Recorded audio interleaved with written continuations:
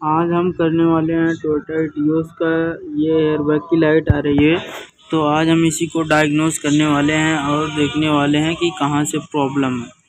जैसे कि आप देख सकते हैं, ये गाड़ी स्टार्ट हो जाती है, पर इसमें एयरबैग की लाइट ये जा नहीं रही है। तो हम पहले इसे स्कैन करने वाले हैं और स्कैन करके देखते हैं इसमें क्या कोड आ रहा है। तो जैसा कि हमने स्कैन करा तो इसमें ये दो कोड आ रहे हैं ओपन इन ड्राइवर सर्किट तो हमने इसका ये क्लॉक स्प्रिंग जो होता है, इसको खोलना है क्योंकि इसका ही कोड दिखा रहा था। तो हम इसे अब खोल के उसके बाद दूसरा लगाने वाले हैं। स्टेयरिंग को सीधे एंगल पे करके एकदम सीधा, उसके बाद ये क्लॉक स्प्रिंग को खोल लेना है हमें। जैसा कि आप देख सकते हैं। हमने इस क्लॉक क्लॉक स्प्रिंग को खोल लिया है। ये हमारा रहा क्लॉक स्प्रिंग जो कि इससे हार्न वगैरह बज रहा है, पर इससे एयर बैग की लाइट आ रही है तो हम इसे अब नया लगाने वाले हैं।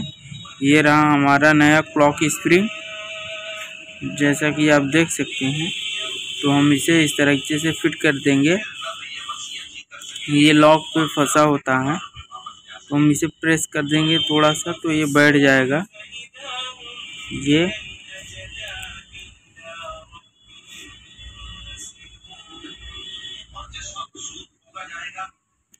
ये इसका क्लॉक स्प्रिंग बैठ चुका है। तो हम इसके कवर को लगा लेंगे और ये दो सर्किट होती है एयरबैग की। ये वाली एयरबैग की है, ये हॉर्न की है जो हॉर्न बजता है। तो हमने ये दोनों सर्किट को भी लगा लिया है और कवर को भी बाँध दिया है। तो अब इसका क्लॉक स्प्रिंग को लॉक के निकाल के उसके बाद स्टेयरिंग को फिट करेंगे।